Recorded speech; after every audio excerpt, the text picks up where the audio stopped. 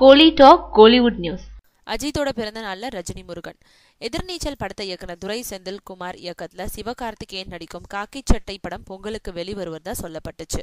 இப்போ ஜனவரி கடைசி வாரத்துக்கு தள்ளி வைக்கப்பட்டிருக்கு. இந்த படத்தை தொடர்ந்து லிங்குசாமி தயாரிப்புல ரஜினி முருகன்ற படத்துல நடிச்சிட்டு இருக்காரு சிவகார்த்திகேயன்.